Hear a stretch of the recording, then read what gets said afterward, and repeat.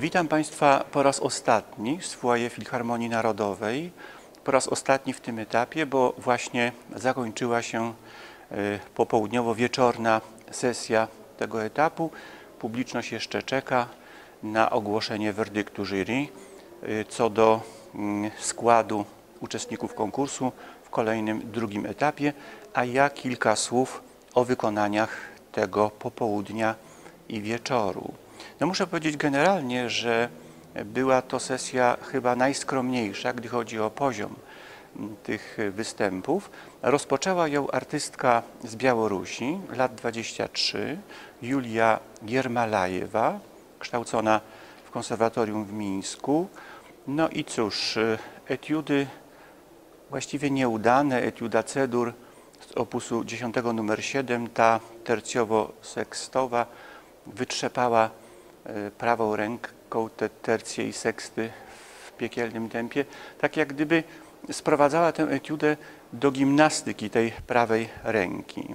No, gdy chodzi o etiudę Amol z 25 opusu, tę przedostatnią, 11, opartą na trąbce pocztyliona, to właściwie ten walec dźwięku przewalał się przez klawiaturę w górę i w dół i właściwie to było wszystko. Generalnie można powiedzieć, że wobec muzyki Fryderyka Chopina mm, gra pani Jermalajewej jest narzędziem mało użytecznym.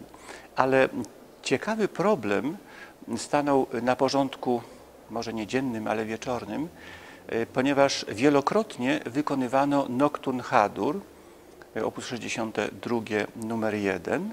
No, gdy chodzi o jej ujęcie, właściwie nie zrozumiała przesłania tego dzieła, w ogóle nie stworzyła nawet y, klimatu, nie mówiąc o tym, że nie potrafiła wniknąć w poetykę mikrostruktur.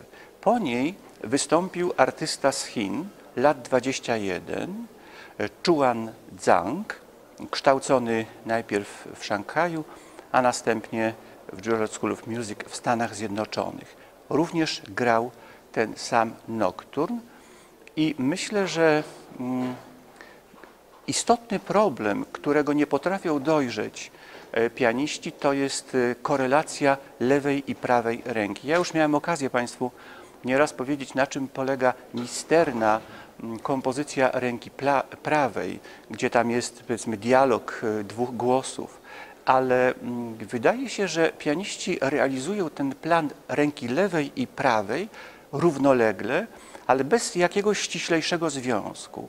Tymczasem wszystkie impulsy e, wychodzą od ręki lewej i te wszystkie synkopowane zwroty w ręce prawej czerpią swoją siłę, swój sens właśnie z ręki lewej.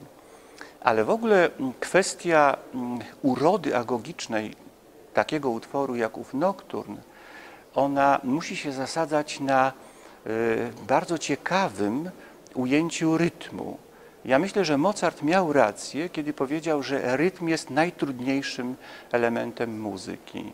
Rytm szeroko rozumiany, to znaczy prowadzenie opowieści dźwiękowej poprzez czas. Danie tej opowieści takiego kształtu żywego, plastycznego, ja myślę, że gdyby ci y, pianiści nie tylko wdrażali się we właściwą grę poprzez śpiewanie, ale poprzez dyrygowanie na cicho. Gdyby dyrygowali, wyobrażając sobie, że to grają cztery głosy, na pewno y, ukształtowaliby to ciekawiej pod względem przebiegu agogicznego.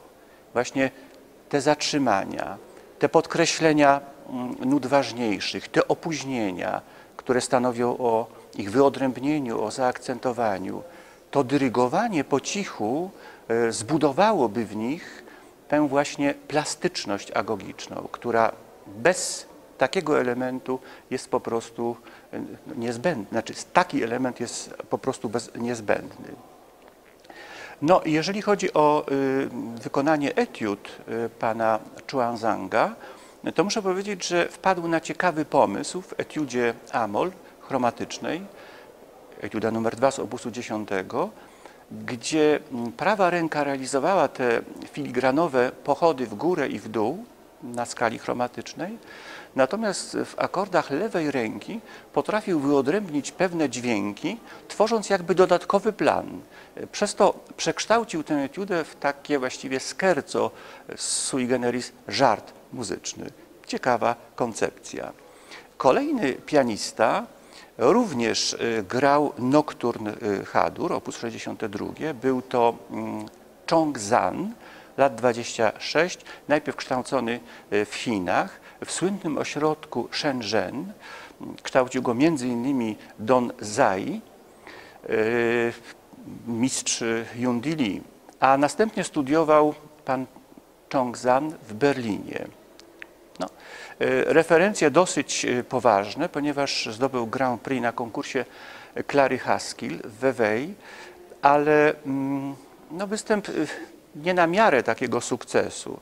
Gdy chodzi o etiudy, to właściwie etiuda mm, Astur z opusu 10 była daleko poniżej poprawności technicznej, jaka stanowiłaby minimum wykonania takiej etiudy. Natomiast w etiudzie C-dur E, myślę, że popełniał pewien błąd, mianowicie przy e, wzniesieniu się e, w górę tych pasaży wspaniałych i przy skręcie w dół podcinał po prostu, skracał nuty, co oczywiście zaszkodziło generalnemu obrazowi tego dzieła. No i potem kolejna katastrofa, właściwie na pewno katastrofa, ponieważ Annie Zu, z Kanady, lat 17, niewątpliwie niezwykle utalentowana pianistka, kształcona w Toronto i y, która uzyskała pierwszą nagrodę na konkursie chopinowskim w Moskwie. Y, grała również y, w, w duecie ze słynnym pianistą Lang Langiem ten występ został nagrany przez radio kanadyjskie, więc na pewno jest to pianistka y, bardzo dobra. Tymczasem ona nie potrafiła się tak pokazać, ponieważ poza pięknie wykonanym nokturnie Destur op. 27, w którym właśnie zbudowała tę wewnętrzną ciszę i wszystko zapowiadało jak najpiękniejszy występ, po czym nie, nie wytrzymała nerwowo. I tu Pozwólcie Państwo mi na pewną dygresję, wydaje się, że dosyć istotną, mianowicie uważam, że powodem tej dekompozycji psychicznej jest y, brak koncentracji albo ta zmora właśnie, że przecież staję na estradzie w sytuacji zupełnie nadzwyczajnej. Mam na pierwszym balkonie tak wybitnych artystów rangi światowej i po prostu, czy w tej sytuacji uda mi się uratować ten stan koncentracji, absolutnej koncentracji, która jest niezbędna, abym uczynił zadość prezentowanym na estradzie dziełom. Kilka słów właśnie na temat higieny pracy, która pozwoli wdrożyć się do tego niezwykłego stanu właśnie absolutnej koncentracji. Koncentracja jest absolutnie warunkiem dobrego ćwiczenia. Nie ma dobrego ćwiczenia bez absolutnej koncentracji, czyli ześrodkowania uwagi na jednym przedmiocie z wyłączeniem przedmiotów konkurencyjnych. Ześrodkowania uwagi. Pamiętam taki list Mozarta, kiedy pisał do ojca, jak intensywnie pracuje nad swoją operą, Clemenza di Tito, pracował nad trzecim aktem i mówił, że tak jest pochłonięty tym trzecim aktem, że nie zdziwi go, gdy on sam stanie się trzecim aktem swojej opery. Otóż właśnie tak trzeba wniknąć w głąb muzyki, żeby zapomnieć o Bożym świecie. Jak Państwo e, mieli okazję oglądać, jak wchodzi na estradę legenda pianistyki Grigori Sokołow, on w ogóle nie widzi już publiczności kłania się, nie widzi niczego i już widać w nim, że wibruje ten pierwszy utwór, który za chwilę zabrzmi. No dobrze, ale jak uzyskiwać, jak wdrażać się do tego absolutnego skoncentrowania na granym dziele? Otóż trzeba sobie wyobrazić codziennie, że ja gram, ćwiczę w studio Deutsche Grammophon, że obok mnie siedzi właśnie Marta Argerich, może Artur Rubinstein, może Christian Zimmerman i że to jest po prostu moment, gdzie ja odpowiadam za każdy takt, za każdy zwrot melodyczny, że wszystko muszę czynić z absolutną doskonałością.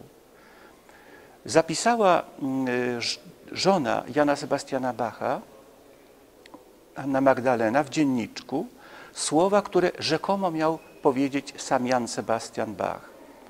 Gram przed najlepszym muzykiem. Być może, że go tu nie ma, ale ja gram tak, jak gdyby był. W istocie, co mówi Bach? Gram przed majestatem muzyki. Gram przed kimś większym ode mnie, a skoro gram przed majestatem muzyki, to odpowiadam za każdą nutę, ponieważ każda nuta jest najwyższą świętością. I jeżeli taki stan ćwiczenia na co dzień będzie moim stanem zwyczajnym, to wchodząc na estradę, w dalszym ciągu będę grał, tak jakbym miał włączone mikrofony Deutsche Grammophon i naprawdę nie będzie mnie deprymowała ta Marta Argericz e, na pierwszym balkonie i ci znakomici jurorzy. Koncentracja. Koncentracja jest warunkiem dobrego ćwiczenia, ale koncentracja, jak Państwo widzą, może być przedmiotem ćwiczenia i może mnie wdrażać do tego stanu, gdzie sytuacja nadzwyczajna na estradzie Filharmonii Narodowej, konkursu Chopinowskiego, będzie sytuacją normalną. Przejdę do kolejnej e, artystki dzisiejszego wieczoru, Miyako Arishima, lat 23, Japonka, kształcona najpierw w Tokio, a następnie w Bydgoskiej Akademii Muzycznej pod kierunkiem e, pani profesor Katarzyny Popowej-Zydroń i obecnie również Agaty Kowalskiej-Gumieli. E, Występ e, generalnie rzecz biorąc pozytywny. Grała bardzo szlachetnym, pięknym dźwiękiem Nocturn G-dur. Widać, że jest wyczulona na tą kulturę brzmienia, tak ważną w muzyce Chopina. No, najsłabiej może wypadła e, Barcarola. Artystka może była zmęczona, ale nie to y, jakby mm, jest istotne. Mianowicie istotne jest to, że ona nie utrafiła w charakter ruchu charakterystyczny dla Barcaroli. Ja myślę, że to, co decyduje o sprostaniu istoty, istocie dzieła, to jest nie tylko odpowiednie tempo, ale charakter ruchu, to rozkołysanie w odpowiednim tempie i w odpowiednim modusie rytmy, rytm, metrycznym. To jest bardzo trudne, ale to jest niezbędne. No i wreszcie yy, ostatnie słowo Su Yang-an z Korei, lat 28, kształcona w Seulu, potem w Irlandii, obecnie w Mozarteum, pracująca pod kierunkiem Pawła Giliłowa. No, właściwie pierwszy utwór zapowiadał znowu dobry występ, Nocturne Desdur, skupiona, wyciszona wewnętrznie, y, starająca się prowadzić piękną, śpiewną kantylenę, ale niestety etiudy y, dały jak najgorsze świadectwo, nie wiem czy jej możliwości technicznych, pewnie jej y, sił psychicznych. Etiudacismol z opusu 10, sklejone dźwięki, nieczytelna tekstura, podobnie etiuda Astur z opusu 10. Y, Kończę te mm, odniesienia do występów pierwszego etapu i może y, poświęcę je etiudom. Ponieważ uważam, że to nie jest tylko tak, że pianiści mają problem z etiudami, największy problem. Dlatego ten etap jest tak strasznie trudny, ale jest również tak, że to etiudy Chopina mają problem z większością pianistów. Ja już powiedziałem Państwu, że z jednej strony etiudy są środkiem do celu, ponieważ są terenem, na którym pianista wznosi się na ten poziom kompetencji technicznej i artystycznej, którego wymaga muzyka Fryderyka Chopina. Ale potem one muszą stać się celem samym w sobie, ponieważ one nie są tylko ćwiczeniem, nie są tylko drogą ku sztuce Chopina, tylko one muszą stać się no, arcydziełem po prostu, utworem poetyckim, wizją artystyczną. I dopiero wtedy możemy mówić o etiudzie. Myląca jest tylko ta nazwa. Ale ja Państwu powiem, jak wygląda sytuacja mm, otwarcia się tych arcydzieł na doskonałość. Mogę powiedzieć śmiało, gdy chodzi o etiudy, doskonałości nigdy dość. Przykład wymowny. Christian Zimmermann w 1975 roku zjawiskowo zagrał etiudę F-dur z opusu 10 numer 8, wspaniale etiudę tercjowo-sekstową numer 7 i znakomicie etiudę Amol mm, z opusu 25 numer 4. Dzisiaj genialny Christian Zimmermann ciągle jeszcze nie nagrał etiud Chopina, ponieważ uważa, że jest to zadanie zbyt odpowiedzialne dla niego. Na czym polega problem? Otóż problem polega na tym, że trudność tych etiud nie jest ich wewnętrzną, immanentną tylko cechą. Trudność tych arcydzieł jest również funkcją talentu artysty, który po te etiudy sięgnie. I ponieważ Christian Zimmermann jest geniuszem wyjątkowej miary, wobec tego dzisiaj ta wizja dźwiękowa, którą on wyczytuje z tego tekstu, jest na razie poniżej jego możliwości realizacyjnych. Przy, dodajmy, że jest to geniusz pianistyki, prawda? Czyli proszę zauważyć, że gdy chodzi o arcydzieło, artysta, tak wielki artysta, znajduje się zawsze w sytuacji niedorastania do zadania, które to arcydzieło stawia. Jeżeli Państwo spojrzą na problem etiud z takiej perspektywy, że Christian Zimmermann ciągle buduje w sobie pewien potencjał, który sprosta tym etiudom, a w roku 75 grał je przecież pięknie, no to proszę zobaczyć, jaką klęską dla Fryderyka Chopina są te nienamiary wykonania, których tutaj no niestety często byliśmy świadkami. No ale czekajmy teraz cierpliwie na stanowisko jury, ponieważ mm, od pojutrza rozpoczną się przesłuchania drugiego etapu, w którym słuchać będziemy 40 pianistów.